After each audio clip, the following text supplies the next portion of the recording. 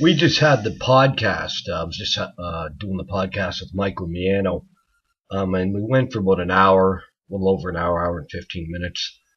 Um, but um, the title of this video is "The August Debate with Michael Miano is not is not worthy uh, of my time after our podcast." Um, and there's different reasons for this. Um, just quite simply, I do not think Michael Miano would be a worthy opponent opponent to debate um, on this topic.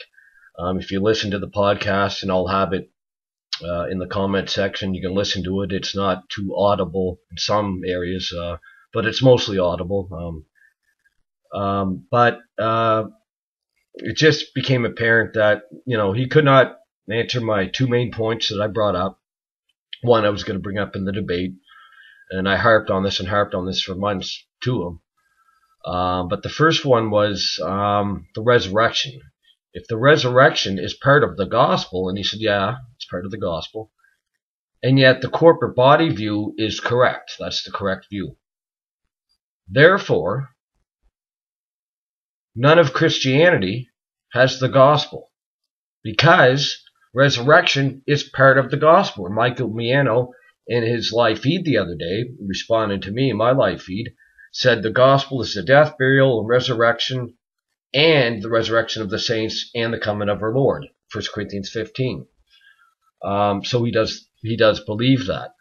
Um, and so if the resurrection um, in his understanding is part of the gospel, that Israel being raised in AD 70, if that's the gospel, then not then Christianity doesn't have that. The 2,000 full preterists in the world have it, but not uh, most of Christianity. They don't have the gospel because they don't have that understanding of uh, a corporate body being raised of Israel in AD 70 because according to Michael, that's the gospel. That's part of the gospel. Um, my argument on uh, Romans, my exegesis, I did an exegesis on Romans 3:19 through 26, pointing out that justification is the verdict of the last judgment. Um, it is the last judgment brought into the here and now. Um, he he he couldn't answer that, um, and he'll never be able to answer that. He had no awareness for of the book of Romans whatsoever, or that books have structures, sections, subsections. Um, like I said, I don't like to say this, uh, but he's not a worthy de- debate opponent, um, as it is evident after being on the podcast tonight. Uh, but the podcast was good um, because it showed me that wasting another six weeks of study is not it's not worth it. Um, it'll give Michael uh, free time, more free time for his ministries. Um, I believe I'm, I'm an a- analytical thinker that has a more advanced understanding of theology, biblical studies, exegesis, hermeneutics, these things at this time. This is something Michael needs to grow on um, if he's going to um, continue to debate, or you know, it's it's something he's going to have to do. And there's things in my life I need to work on as well, for sure. Um, but yeah, I've posted uh, the link to the podcast um, in the comments section. Uh, the sound quality wasn't the best, um, but most of it is audible. I just listened to it. I want to thank Michael for being humble, gracious, and a caring guy. Uh, I thank him and taken up my challenge to debate me on the subject of the, the judgment. But after tonight, again, I wouldn't waste my time with that debate format. Um, maybe if it was a podcast like tonight for three hours or something like that, an actual debate going back and forth, um, like a, an actual debate. And this is what I said at first. And he said, well, let's try um, David King's site, a friend of mine, because I said, well, let, us do uh, like a YouTube thing or something if possible. But I agreed, yeah, sure, let's just do the debate. But after tonight, why waste more time and why waste the whole month of August and into September, four weeks? Why waste it? I mean, it's just, it, what's the point of it?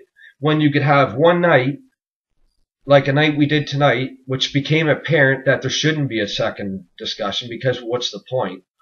Um, it, it's just, you know, there's no point.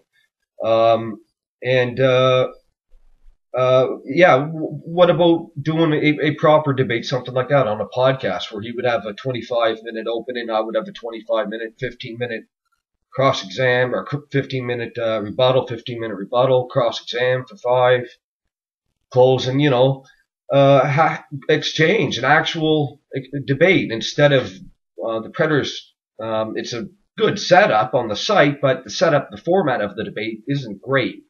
It, it, I mean, if I if I had a challenge on my hands, I would go through with it with for the debate. But since I don't think he's a worthy opponent, and I'm not trying to be rude, um, it's just it's just there's no point. Um, uh, every week, uh, 10 page paper, 45 minute video, then a 10 page paper, five or 10 page paper, 45 minute video at the end, and two five page papers and 25 minute videos. So you have to do it every week as you respond to your opponent. You, you respond in a week apart. This isn't a real debate, you know. So, and for me to waste my time up until then, six weeks and then a month, you know, that's that's over two months. That's the summer, wasting the summer.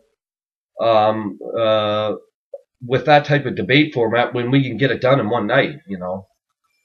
Uh, the way debates are usually done. They're usually done publicly, form, formally, or online, audibly at least, if you can't do video, and with cross examination, with uh, uh, rebuttals, openings, closings, um, in person, you know, uh, the interaction.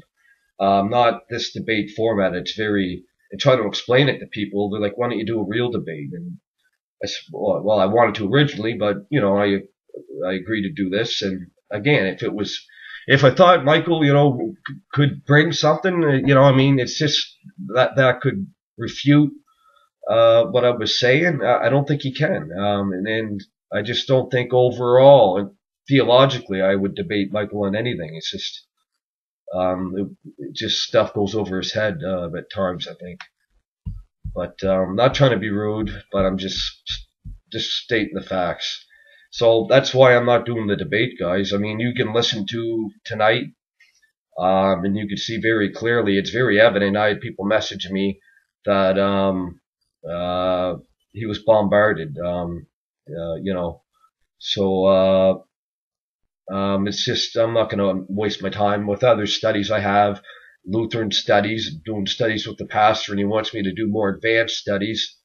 Um, and I had to put them on hold. And other studies I was doing, uh, working on a manuscript, uh, learning Greek, uh, things like that uh, with my studies and other things in my life putting on hold.